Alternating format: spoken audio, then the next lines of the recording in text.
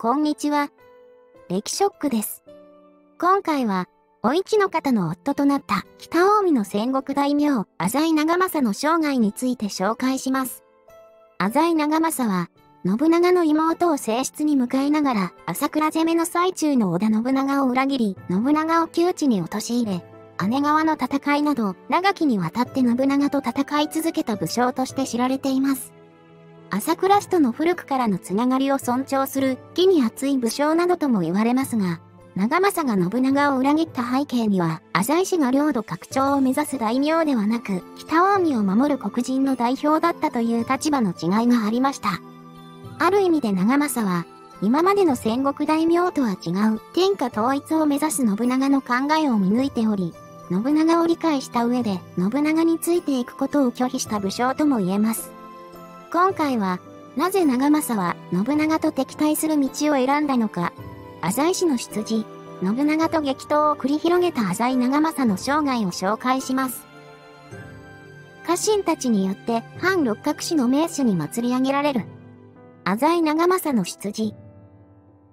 浅井長政は1545年に北近江の大名、浅井久政の嫡男として、当時浅井氏が侵入していた南近江の大名、六角氏の居城、観音寺城下で生まれました。織田信長の11歳年下、徳川家康の2歳年下にあたり、長政は生まれながらにして母と共に六角氏の人質として暮らすこととなります。浅井氏は、長政の祖父、浅井助政の代に、主君にあたる北近江の守護、京極氏を傀儡として権力を握り、北近江の黒人の名手となっていました。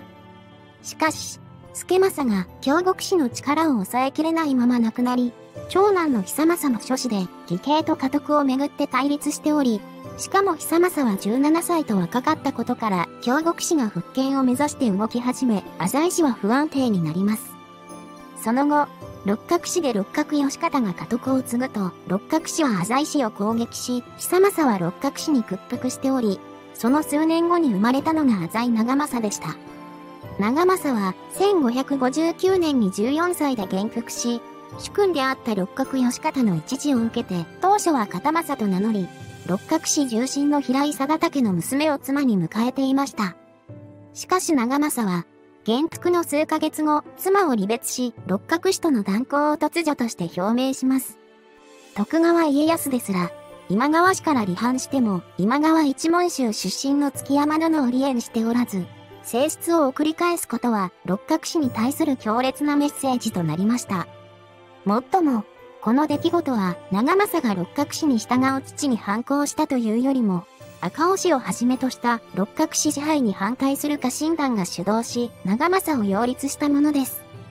当時の浅井氏は、当主のもとに家臣が従うというよりも、浅井氏と家臣団が横の関係でつながる同士のような関係で、浅井氏当主は一騎の名手のような立場にありました。この横の連合こそが、浅井氏の団結力を生む強さともなり、織田信長のように戦国大名として機動的に動けない弱さともなっていきます。家臣団が六角氏への対応をめぐって割れ、反六角派の名手に祭り上げられた長政は、父の久政と対立する形となり、長政の名のもと、浅井氏は、助政、久政が成し得なかった、京極氏、六角氏からの自立を目指します。もっとも、久政も隠居したわけではなく、この後、家督を譲った後も、軍事、外交面に引き続き関与しており、浅井氏は、久政、長政の二党体制となりました。一方、敵対する六角氏では、対浅井戦略で六角義方は北の朝倉氏と結ぼうとしていた一方、義方のこの義春は美の斎藤氏と結ぼうとしており、親子の対立の末に斎藤氏と同盟を結びます。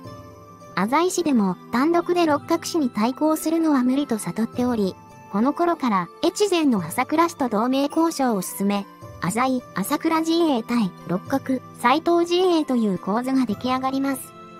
浅井、朝倉氏の同盟関係は対等ではなく、浅井氏は朝倉氏の本拠地、一条谷に館を構え、後に長政の長男の満腹丸を人質に送り、朝倉義景を親方様と呼ぶ完全な従属関係にありました。内実はともあれ、強力な味方を得た長政は、1560年8月に六角軍が北近江に攻め込んだことで、野良田合戦と呼ばれる大規模な戦いに突き進みます。数では六角軍が勝るも、長政自らが敵に突撃をかけたこともあり、浅井軍が逆転し勝利を収め、浅井氏は六角氏から自立を果たしました。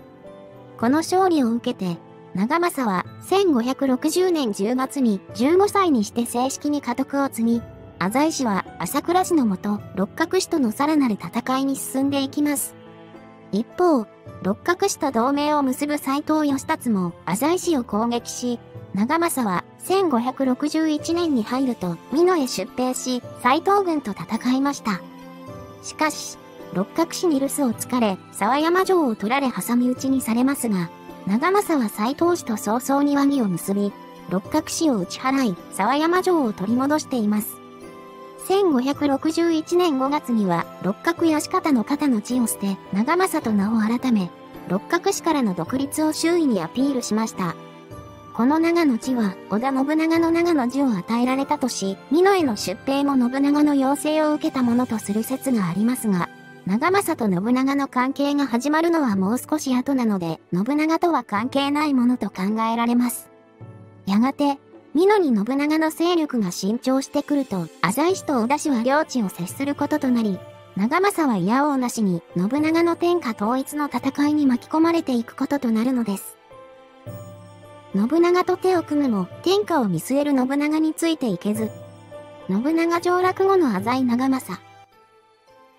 1563年10月に六角氏で観音寺騒動と呼ばれる内紛が起き、浅井氏の脅威となっていた六角氏は一気に力を落とします。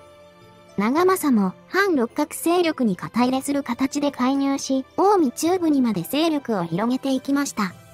こうした状況下の1567年に、長政は斎藤達興を滅ぼして、美濃を手中にした織田信長と同盟を結び、信長の妹、お市の方を正室に迎えます。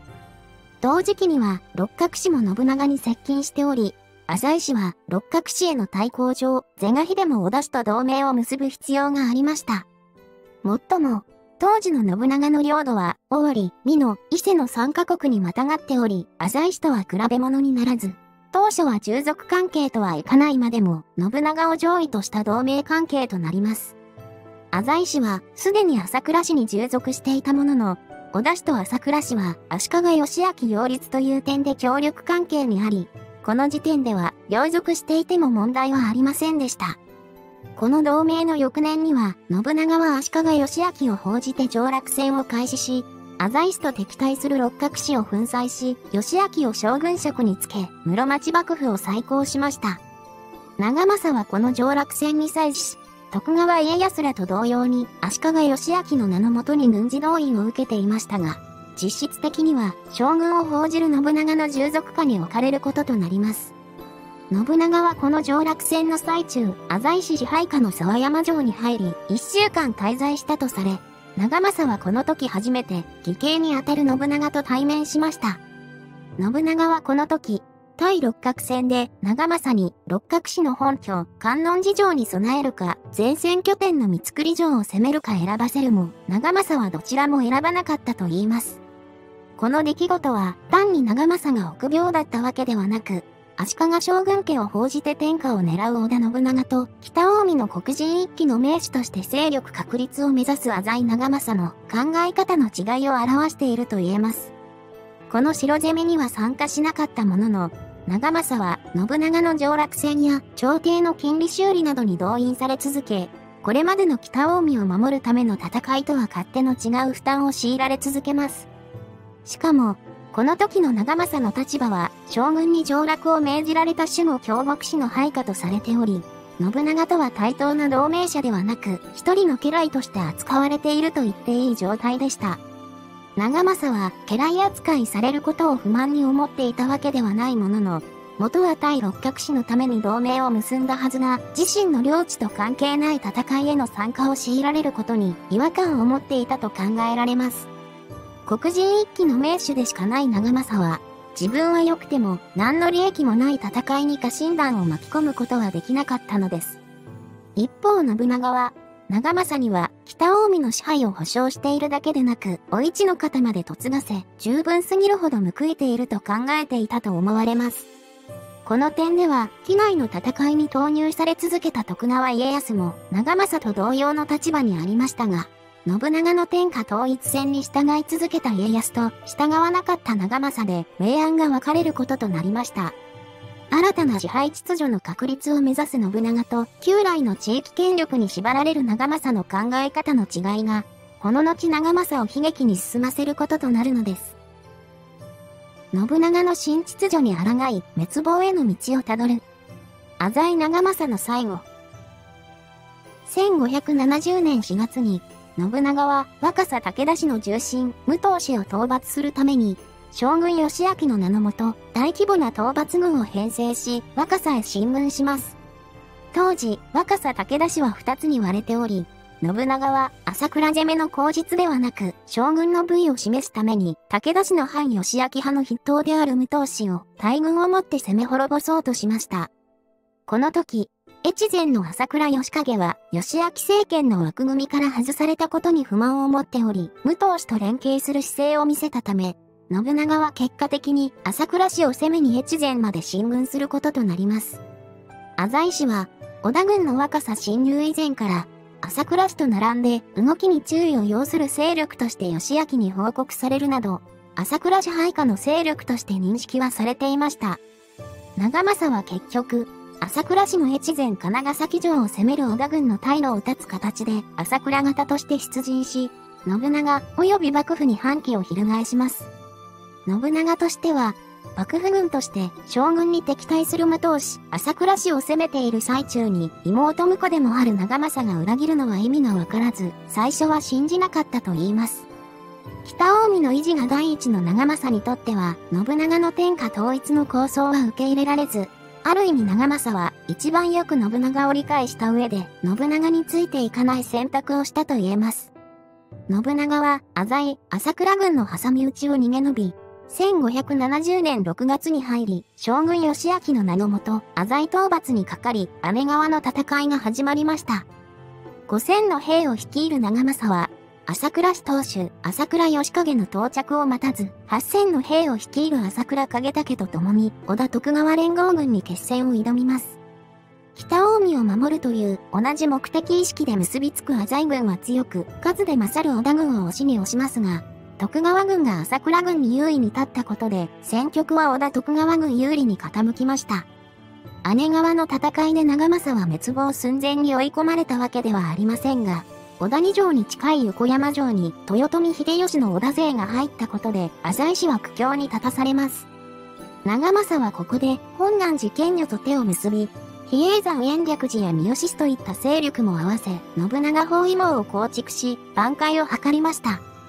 長政には北近江の一向一揆勢力も味方につき、姉川の戦いの3ヶ月後には、朝倉義景と共に、信長が三好征伐に出て留守の京都を目指して、進撃を開始します。浅井朝倉軍は、宇佐山城の森吉成を討ち取り、比叡山延暦寺に入って、京都侵入目前まで迫ります。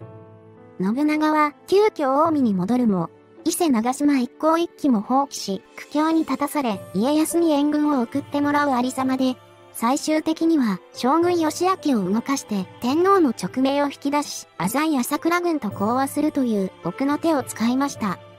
この直命講和によって、不利だった信長は一転して優位に講和交渉を進め、長政は朝倉氏に見捨てられる形で、北近江の半分以上を織田領とするという浅井氏不利の講和を結ばされます。講和締結の翌年、1571年2月には、講和によって体制を立て直した信長は、早速講和を破棄し、沢山城を守る磯野和正が小田氏に降伏し、浅井氏は重要拠点を失いました。長政も戦局を挽回するために攻勢に出て、伊勢長島一向一揆と連携し、自身は北近江の一揆を先陣に出陣するなど、一向一揆との連携を武器に攻めるも、横山城の秀吉に阻まれます。1571年9月には、協力関係にあった比叡山延暦寺が信長に攻められ、壊滅状態となるなど、長政はどんどんと追い詰められていきました。1572年に入ると、信長はたびたび自ら大軍を率いて北近江に出陣するようになり、長政はその度に朝倉氏に援軍を求めるも、朝倉義景の動きは鈍く、長政をめぐる状況は悪化していきます。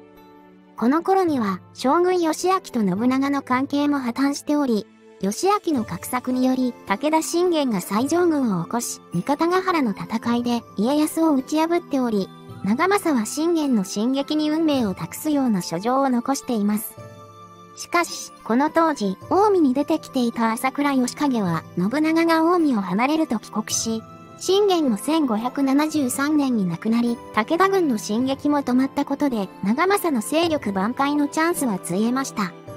これにより、信長は再び攻勢に出て、信玄の精神に合わせて挙兵した足利義明を下して、室町幕府を滅ぼします。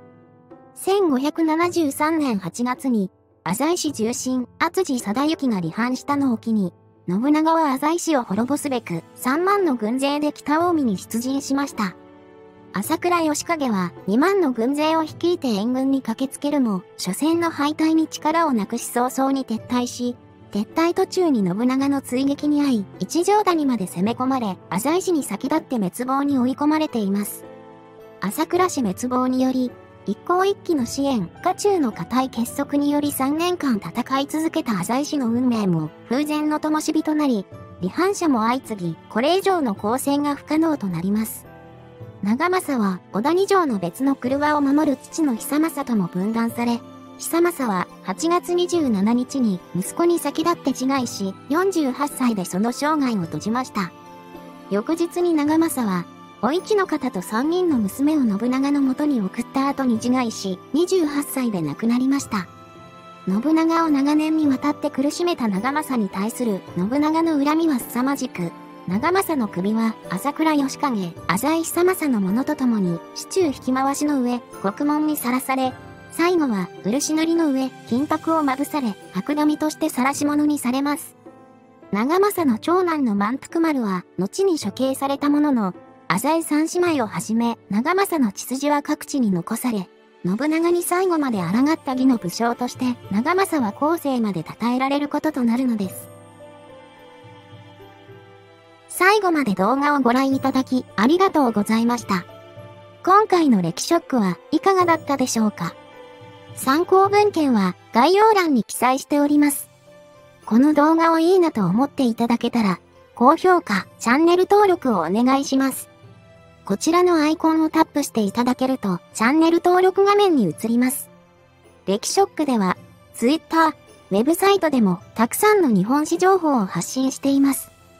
概要欄に詳細が記載されているので、よかったらチェックしてみてくださいね。